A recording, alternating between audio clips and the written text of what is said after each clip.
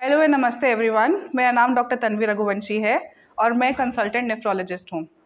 आज world kidney day पे हम बात करेंगे tips to keep your kidney healthy ठीक है?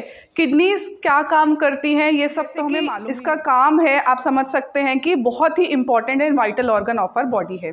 ठीक है? तो कुछ बहुत ही सिंपल से टिप्स रहते हैं हमारी डेली लाइफ में जो हम फॉलो करें तो हमारी किडनीज जो हैं हेल्दी एंड सेफ़ रह सकती हैं। ठीक है? सबसे पहले पानी पीना। पानी हमें कितना पीना चाहिए? नॉर्मल इंसान जिसकी किडनीज बिल्कुल नॉर्मल है अपनी किडनी को हेल्दी रखने के लिए दो से ढाई लीटर पानी पीना चाहिए।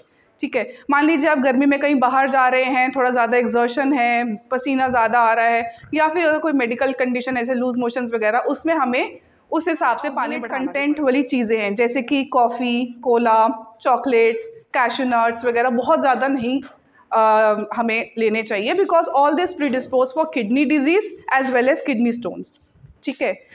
डाइट के बाद हम आते हैं कि management of BP and sugar आप जान के हैरान होंगे कि diabetes is the leading cause of C K D throughout the world and India जो हमारी country is now becoming the leading hub of diabetes throughout the world तो हम सबसे ज़्यादा पेशेंट्स को कंट्रीब्यूट करते हैं पूरे वर्ल्ड के डायबिटीज़ पेशेंट को। तो सिर्फ़ अगर हम अपनी डायबिटीज़ और बीपी को कंट्रोल कर लें तो हमारी किडनी की प्रॉब्लम्स भी काफ़ी हद तक सॉल्व हो जाती हैं ठीक है?